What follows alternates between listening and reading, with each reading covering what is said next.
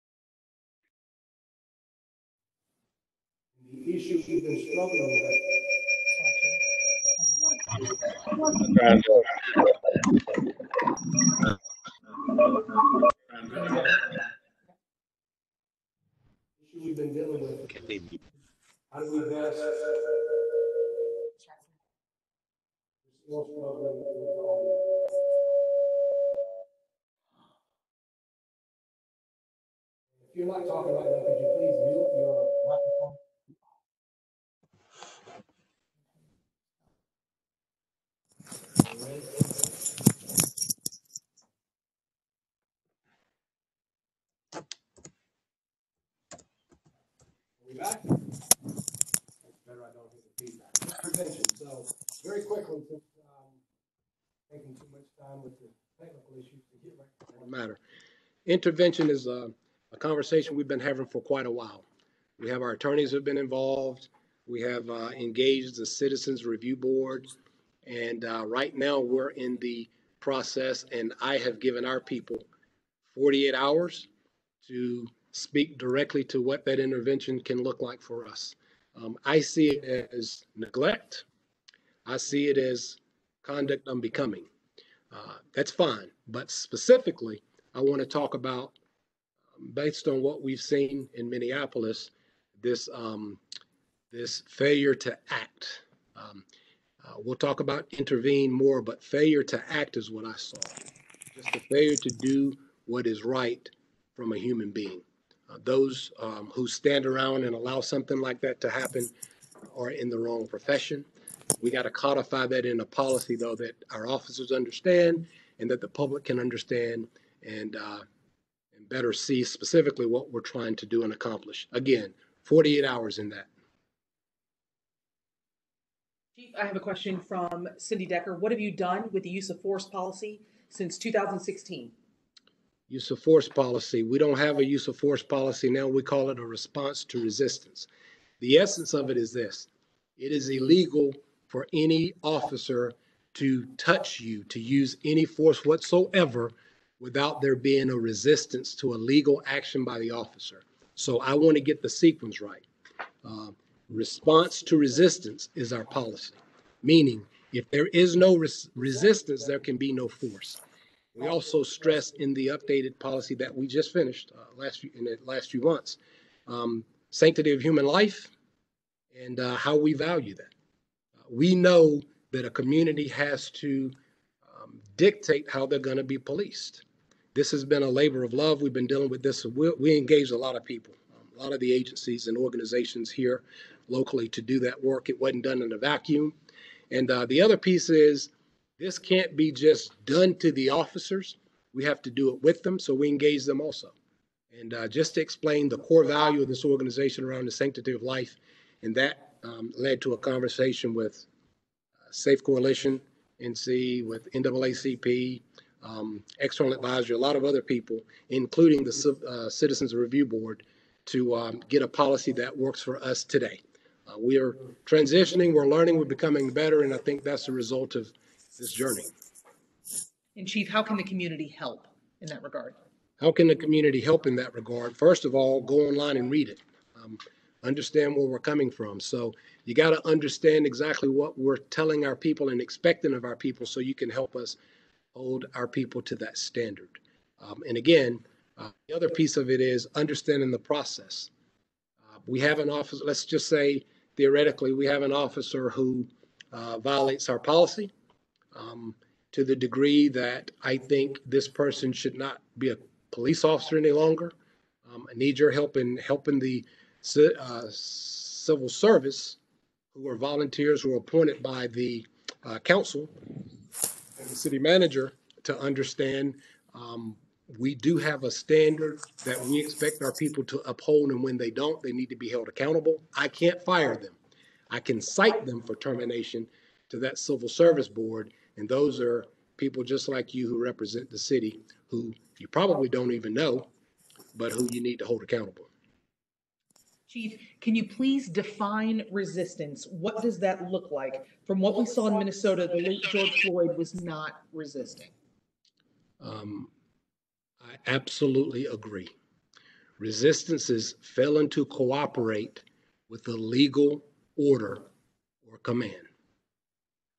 That can come in many ways, um, from just not physically moving when you're told to, and it's a legal request, all the way up to fighting uh, and actively resisting and trying to injure uh, the officer. So resistance is failing to um, heed and uh, and cooperate with the legal order. Um, yes, that that video that we all saw that is hard to stomach, that um, is disgusting and uh, a criminal act. Uh, that is not action that's used to overcome resistance. I saw no resistance. Uh, when when we get you handcuffed on the ground and cooperating, um, there is no justification for force. Um, so uh, hopefully that answers your question around resistance and gives you a specific example in relation to the case we talked about. All right. Chief, what happens though if the person resists because they feel they're being wrongfully arrested? Right. If you feel you're wrongfully arrested, here's the thing. Um, you cannot legally resist a lawful arrest, a lawful arrest. All right. The problem is that that can uh, cause other consequences. Um, we have to have uh, probable cause to believe that you've committed a crime. Time to really get into the nuances of that definition is not when you're encountering an officer. Um, I tell people cooperate um, because you need to have your day in court. Also, if you feel like you're being um, uh, mistreated and this is not justified, you need to call for a supervisor. Somebody who's at a higher level of authority that we can hold accountable, who we expect to lead and be more uh, reasonable and less emotional. If that case, if that uh, situation is becoming contentious, to come in and weigh in as an objective party.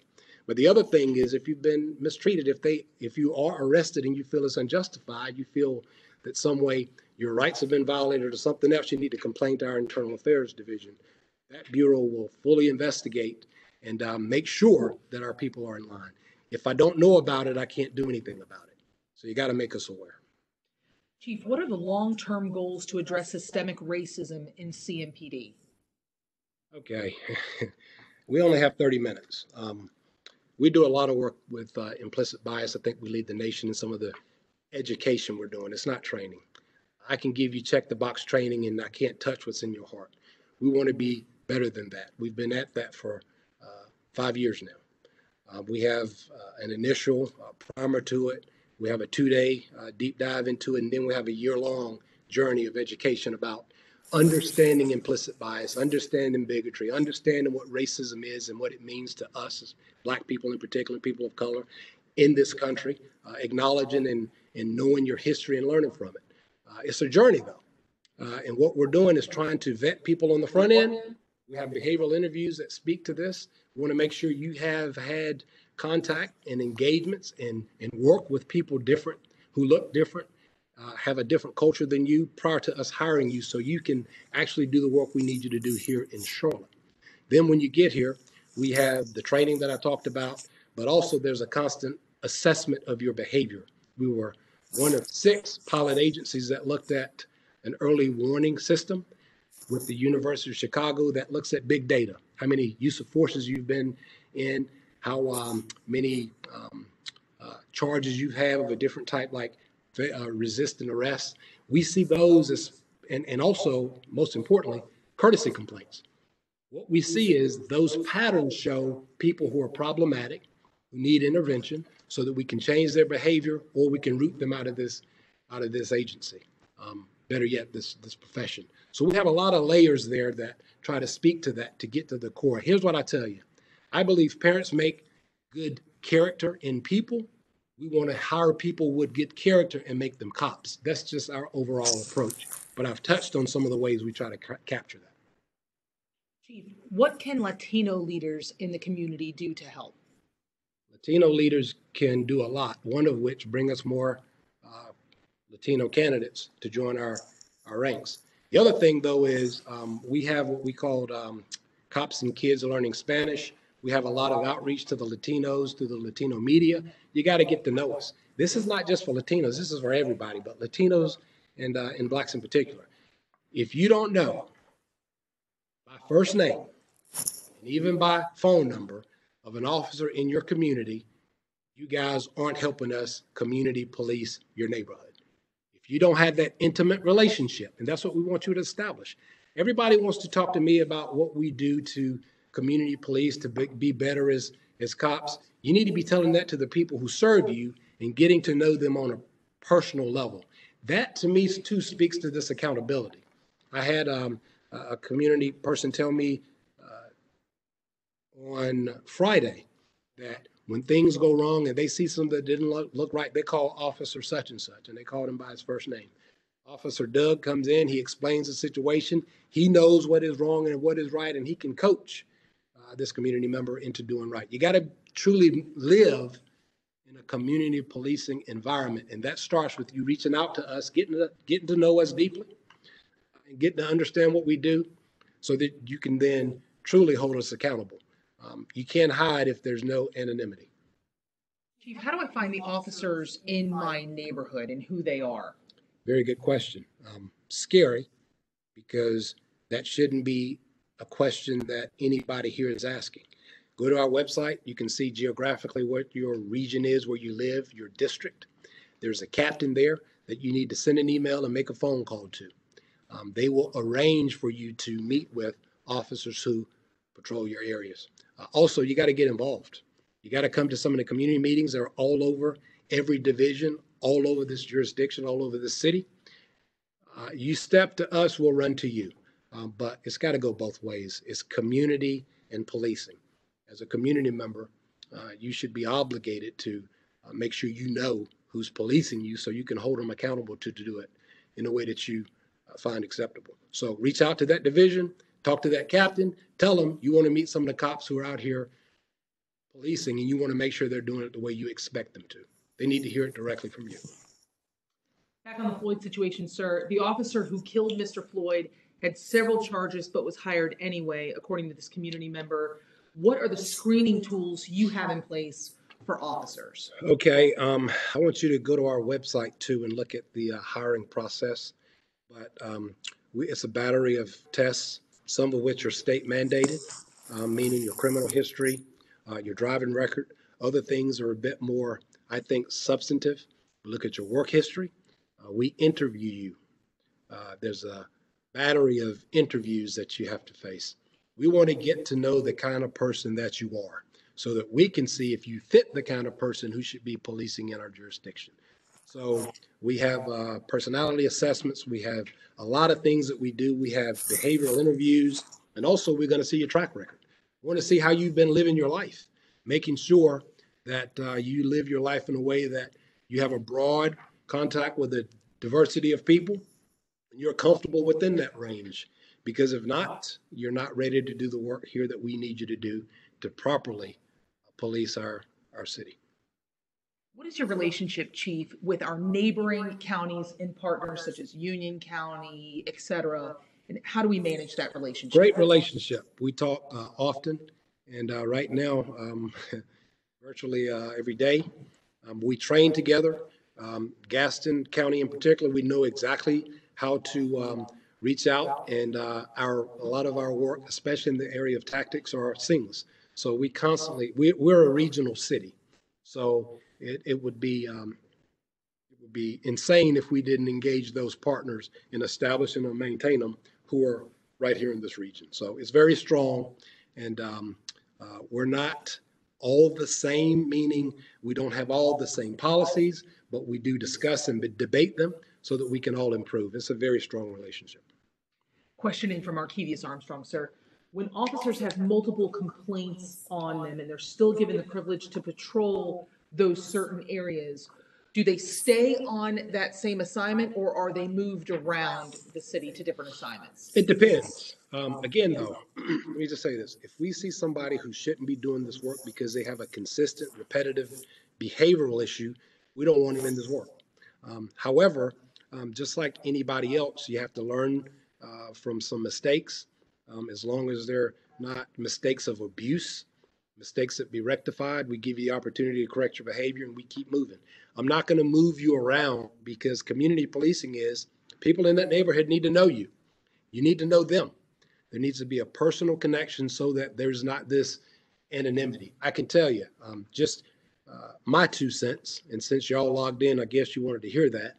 Um, the issue out in Minneapolis, uh, you, when there's a distance and an anonymity, there's a lack of humanity. And that flies in the face of community policing. So if you don't know the officers in your neighborhood, we're just not getting it quite right. Chief, is there an actual sophisticated racism test in the hiring process?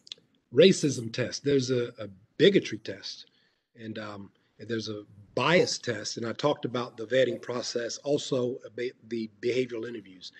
Uh, here's the deal. Um, if I'm a racist, I'm not going to tell you. So we look at your behavior, we look at your associations, we look at your social media. Um, if you're not going to share those types of things, we're not going to hire you. We want to see what kind of person you are. And um, I can tell you, uh, biases and bigotry go in a lot of forms, races but one. We want to root out all of them because if you're not of good character, you're not the caliber of person that we want. We're not perfect. Um, I can tell you, I, I, I, submit to you, if there's somebody in this organization that believes uh, the way in which Mr. George Floyd lost his life is okay, or you can rationalize it, they're not cut out to be cops here. And what we do is we we give you scenarios to try to tease that out. Uh, it's a it's a lot of work that we do. We don't have a racism test, but we do have a a, a lot of um, assessments around biases and bigotry How can we join or engage the civil service or the citizens review board? You vote for elected officials who represent and appoint these people. Um, I keep talking about a report card for, listen, uh, I got about 59 more working days, and I'm gonna have a lot of report cards that are gonna be fed to you from me personally as a citizen of Charlotte, because the issue is there are a lot of people who talk about accountability who can't even really define it. They know they want us to be accountable when something goes wrong, but what about the people behind the scenes who get to really overrule my decisions who you don't even know? If I say somebody needs to be fired because they're not cut out for this work that I've been doing for three decades in this organization that I love, um, I, I think it's not personal, it's professional. And I need some support in that. So when you see me cite somebody for termination, uh, based on something that's going on, and then you hear that they are back on the job, um, you should ask questions. The problem too is these hearings are closed to the public. That is a law that you should be attacking. Uh, Some states allow for discipline and misbehavior to be publicized. Um, if I've done something wrong and jeopardized the trust that you have in me as an officer, you should know about it. Um, the laws in North Carolina um, don't allow for that. I want to protect our people, give them due process, but there has to be accountability at the at the state level with laws that you need to be educating yourself on. And we can have more conversation about what that could look like as well. Chief, again, back on the protest situations, is there any evidence that outsiders, quote unquote outsiders, are instigating this type of behavior that's taking place in Charlotte? Okay, let me tell you this. Uh, I'm tired of that question. Uh, I am. Uh, the, uh, who cares? Um, the the the deal is we got people who are hurting and mad, and I understand that. Uh, sorry, I'm mad too. Um, but uh, what I see is us trying to excuse what we're dealing with here. Um, I can tell you this: uh, the first night, everybody arrested was from North Carolina. All but about three were from this region. Uh, one was from Asheville, one was from Swansboro. Um, but here's the deal. Last night we had about a third of them maybe who were from quote unquote outside of the state. But who's to say they weren't visiting people who saw this video while they're here visiting and got mad and wanted to do something about it?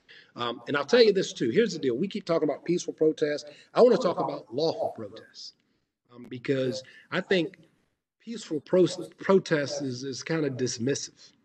It's a standard that I don't even think I could reach if I weren't uh, sworn to do what I have to do here. Um, I'm not asking for um, somebody to be totally docile in the way they protest.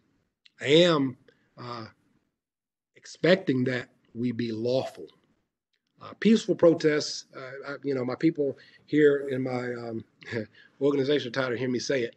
Peaceful, peaceful protests were tried and uh, proved quite successful in the 50s and 60s. Um, but if you read even Dr. Martin Luther King's later writings in the last year and a half of his life before he was assassinated, um, you will hear that um, more and more people are willing to accept protests that are not as peaceful.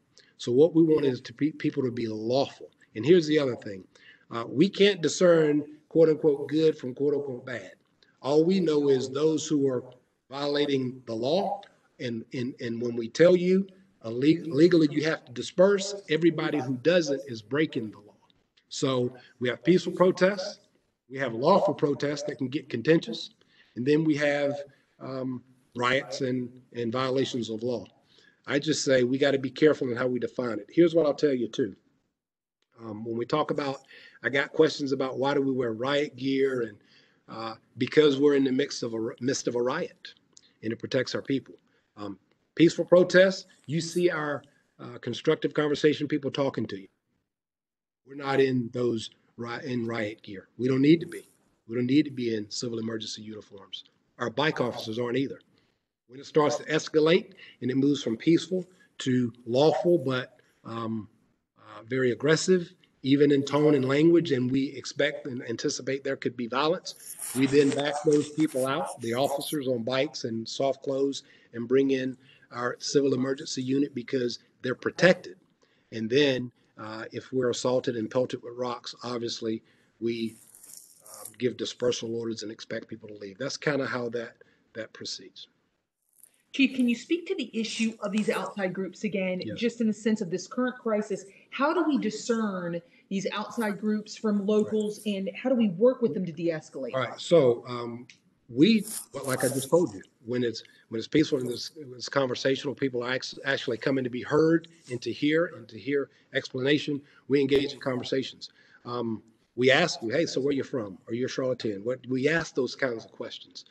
But the the data that we get though is those who violate the law, those who are arrested, and I can tell you that. I wish it were just outsiders and we here in pristine Charlotte don't don't um, resort to violence. That hasn't been the case in the majority of these arrests and these issues. So I can't tell you all people are agitators from the outside. I can tell you though, this is pretty coordinated across the country. It is intentional.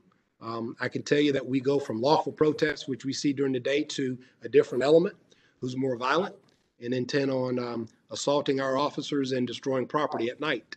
Uh, they're younger, they're more aggressive, much more energetic, and uh, even willing to resort to violence. So um, the excuse of the Southside agitators is wearing thin with me because um, we here, though, locally need to be speaking out, pointing them out so that we can strategically take those agitators out of the uh, lawful protest so that it can continue to go on lawfully and without violence. Back on Floyd, sir, how would you describe the police chief's demonstration of respect for George Floyd's family?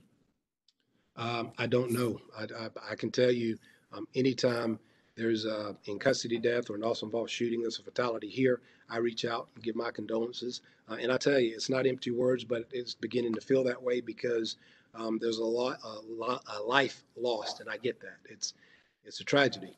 But I, I can't speak to what uh, the other chief's done. I hadn't, haven't really uh, seen what that chief has done uh, relative to the Floyd family. I know um, I did pray for his family and wish them the best. And I hope something positive can come from this. We only engage in these conversations when it goes far, far left and, and, and tragic. Our work continues. And people are going, Chief, what are you doing to hold people accountable? What are you doing to engage with your community? I have a pamphlet here that we put on everything. And uh, can you see it? Am I holding it up? There we go. For, for everybody to see. This initiatives and programs that we've been doing, one of which is taking people from having issues through Envision Academy, we have opportunities for employment and, and even education in the college. We're doing a lot of work that people aren't informing themselves of because they're looking at us through a prism of um, negativity that has been haunting this profession for a while. I'll say if you don't give us a chance, we can never make change, but we got to make change together. Chief, I have an uptown business owner who's asking about crisis trained officers in the community.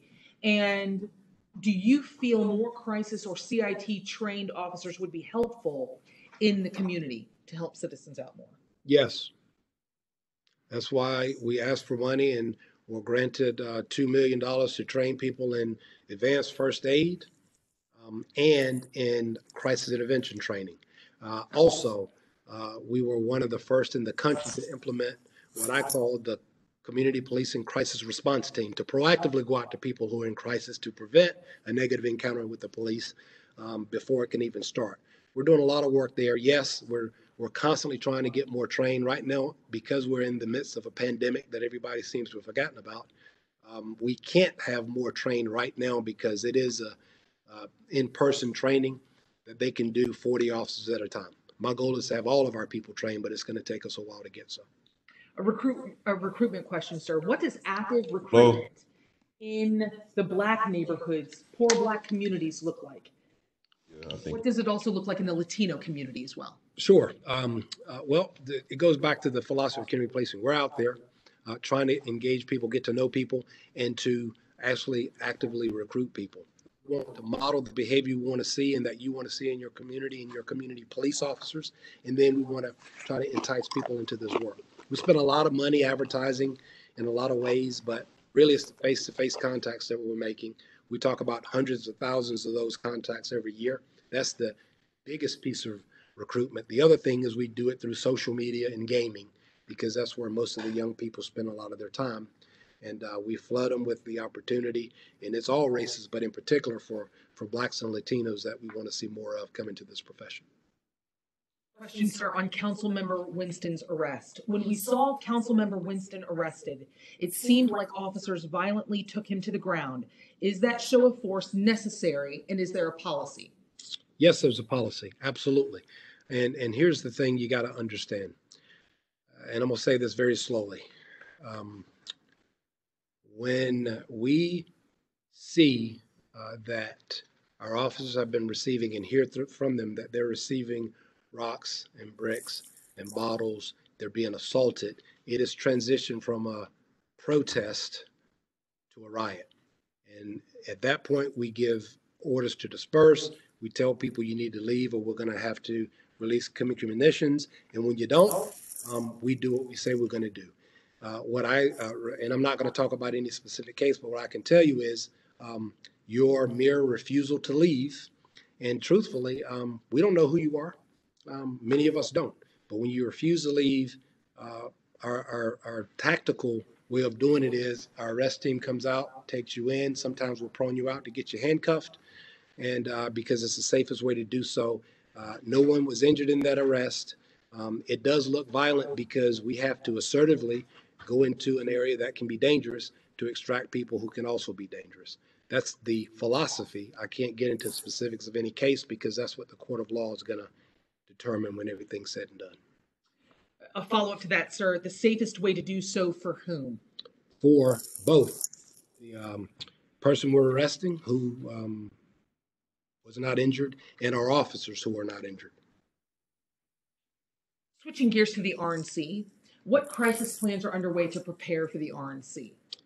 22 um, plans just with us as a police department and our partners are underway with subcommittees from a range of everything uh, tactics that we just talked about all the way to uh, uh, how we're going to protect the area with fencing. So there are a lot of different subcommittees that will work on all of, um, all kinds of areas of of um, uh, safety measures that we're taking, and that's been underway for um, about a year and a half, almost two years now. And several people are asking, sir, how can they help and make a difference? We have ambassadors asking, faith leaders are asking. What is your call to action from them to get engaged and, and make a difference here? It's pretty simple. Um, make sure you have your voice heard. If you want to protest, especially during the daytime, and come out and and speak with our officers and have them hear directly from you expectations. But let's be strategic and let's be reasonable about what we want. People say, Chief, we want you to be transparent, yet um, I don't own some of the things that you talk about transparency on. I don't own our officer involved shootings or in custody deaths anymore. Those investigations have been taken away, so I can't speak to them. Um, I don't own the final say in whether or not officers can be hired or fired or even promoted. I have to submit them. I'm okay with the uh, hiring and the promotion, uh, but um, uh, when when people have violated the trust of the community and we can't reestablish it, that we need to part ways with them and having an outside entity. And some of the former members have told me directly, those willing to talk to me, that uh, their intent was not to get rid of officers because they have families. I've heard that from two different people. I get the family, I get that, but I also get that there's a greater need and a greater calling that we're going to uphold. The vast majority of our people do so well. Those who don't should not be police officers. In addition to prayer, sir, what else do you need from the faith and ministry leaders in their roles? Do you need more chaplains? You know, what do you need, especially as you're preparing for the RNC as well? I want you to show up and model what lawful protest looks like. I want you to show up. If you're mad, be mad. Explain why. So our people, our officers, and I can understand. If you have expectations of what you want to see from us, articulate. Um, I don't care about the volume, but I do care about that we do so without violating the law because that puts lives in danger. So again, all I want you to do is show up, mean what you say, model the behavior you want the young people to see because young people are coming in at night are uh, coming in to commit violence. Um, I think truly it's an offense to memorializing Mr. Floyd because damaging and burning property, um, assaulting uh, people uh, is not the way to get a message across that uh, we need to improve the police department. We need you to be specific in what you want to do. We need you to model the behavior you want others to follow so that we can continue to get better. We're better today with a response to resistance, not just a use of force policy, because those were articulated expectations that uh, we heard loudly and clearly four years ago. And uh, we continue to make improvements, and that's an example of how it should work. Chief, we have a few questions related to COVID 19. Can you please speak to the executive order as it relates to distancing and size of crowds? And is it possible for you to give permission to participate in protests, even with this executive order in place? I cannot give permission, but uh, the governor has allowed for um, the First Amendment to be exercised as long as there's social distancing. Again, you got to think about the practicality of enforcing that. Um, I have an officer now who's charged with going into a crowd that might be hostile, telling you, stick your arms out, let's make sure you're six feet apart. I get the intent, but sometimes the practicality is a challenge. Um, but what we are doing is educating people, and the vast majority of people are, are complying with what we're asking of them. And um, right now, my, my concern is uh, community members and our cops are being exposed. If there's a, an outbreak and a significant increase, um, uh, you know, we're going to greatly impact our ability to do our work because right now, uh, those recommendations about social distancing and um, wearing masks and so forth are being violated at a great rate. Uh, we can't arrest our way out of problems. This is a problem that we're going to have to get cooperation on. National Guard, sir. Is the National Guard here? Are they going to help us protect property and businesses?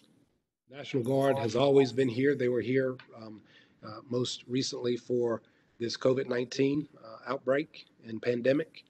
Um, So uh, we, it's an administrative process. We wanted to initiate. I'm not going to get flat, caught flat-footed, not able to protect my community, all people who live here and the property from destruction. They would serve to um, maintain the safety of the infrastructure, buildings and so forth, while our people engage and deal with the crowd. Yes, that is, they are, they have been activated. That process has begun. Um, the, the, the guard is, uh, here to respond when necessary.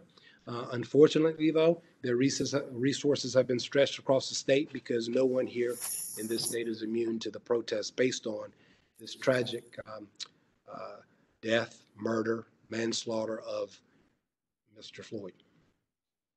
Chief, how can we go about starting programs to build relationships between officers and the communities they protect? What should we do if we're interested in doing something like that? You should get involved. You should come to the community meetings. Every uh, community has meetings, um, and I know you're busy. I know you work. They're once a month, come once a quarter, but at least get engaged so you know who's policing you, and there's a specific and intentional and personal level of accountability and, and expectation. You can't establish that from a distance. You definitely can't establish it just telling me and then expecting magically I'm going to intimately connect you with cops. It doesn't work that way.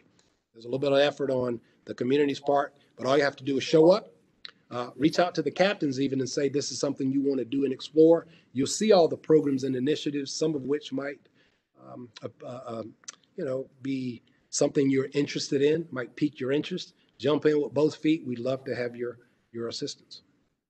Chief, last thing, I, I don't think we have any other questions, although there are some in the thread that have been answered by some folks we already have on the line from community services and so forth. The ambassador program, bridgethedifference.com. If they want to get involved, they can also attend that training, right, Chief? Yes, that really wasn't a question. But uh, the whole point of Bridge the Difference is we got to get ready for this Republican National Convention. Uh, what you see now is the pain and hurt from another flashpoint around race and justice. Um, I don't think these conversations are going to go away. They haven't. Um, they have to be dealt with. And the best way to overcome racism, people talk about the implicit bias study and what it shows out of Harvard. What they don't show is there are some recommendations about how you overcome it. That is connecting with people different than yourself consistently. So you see what you have more in common, which is what we're trying to do with Bridge the Difference, than different. And um, you faith leaders understand sometimes that's faith, sometimes it's just establishing friendship with people are different than you. I, you you're going to say I'm oversimplifying it, but I'm really not. If I were, we wouldn't have some of our ambassadors who've gotten to know us standing between a police car that was about to be damaged by a crowd who was angry and the people who are about to assault on that uh, on that vehicle with our officers. They put themselves in harm's way for our benefit. They inversed what we see policing uh, as being responsible for. Only the way they did that is they knew officers intimately and they connected with us on a human level and, and we love them for it. Another question from Robert Dawkins. We do have a few more coming in. Sure. He still wants to hear about those holster monitors, and is there a timeline? Signal sidearm is what it's called. And uh, we should be rolling that. We are going to be rolling those out this month in June. So by the end of June, all of our officers in patrol will have those that technology. What that does is every time the weapon's drawn, it triggers the body worn camera. So then we can tape it. I tell everybody though, you have a smartphone, turn that thing on with any encounter with the police. But for a smartphone, uh, we might not even know what happened tragically to Mr. Floyd. So capture, we want to capture our body worn that the city uh, leadership, mayor and city council at the time, uh, invested 7.2 million of your tax dollars into. Want to catch them on a body worn, but uh, iPhones uh, work just as well. Chief, back on the RNC, how will CMPD deal with pro-Trump protesters who show up with weapons? Um, we're going to deal with anybody who shows up at a protest with a weapon the same way. Uh, pro, uh, against, whomever. Um, don't care what your political ideology is. I care about the safety of our citizens. So you're entitled to your First Amendment right, but we have laws in this state that won't allow for that at a at a protest. Are you adding any citywide community engagement or campaigns with businesses to show support for a united community? One member is saying, I see a lot of community engagement opportunities on your website for youth, low income neighborhoods, but I think business leaders can be more engaged in supporting a united community. Sure. Um, you might not be aware that some of the programs that you mentioned, Envision Academy, actually is paid for and sponsored by local businesses. That gives our youth an opportunity to see all the opportunities in the business sector, in the public sector, in the arts, but also it, it leads to job opportunities. Members of our police foundation who are also helping us sponsor uh, those uh, that in, that Envision Academy of the opportunity also are looking to potentially hire people as interns and then full-time employees as they matriculate through that Envision Academy, graduate high school, and go off to college. So there's a lot of good things the business community is doing. None of those seem to go seem to go virus. I mean, uh, viral because um, they're not uh, as negative and as gut wrenching as the video that we saw, but they're still no less important for this community. I totally agree. So we have business opportunities too to engage. That's one of them.